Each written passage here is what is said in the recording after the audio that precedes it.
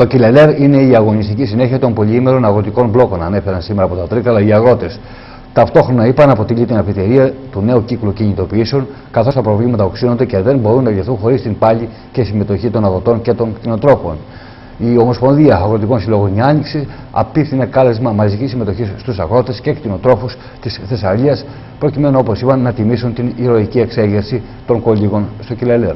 Η Ομοσπονδία μας την Κυριακή 9 του Μάρτη συμμετέχει στον πανελλαδικό γιορτασμό του Κιλελέρ όπου οργανώνεται από την Πανελλαδική Επιτροπή των Μπλόκων.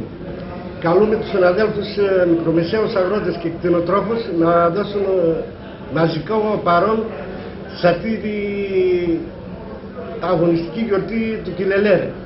Για τη ε, μετάβαση των συναδέλφων αγροτών και κτηνοτρόφων θα αναπληρωθούν λεωφορεία όπου 10 η ώρα θα ξεκινήσουν από την οδό Τσιτσάνη στο ύψος της ταβέρνας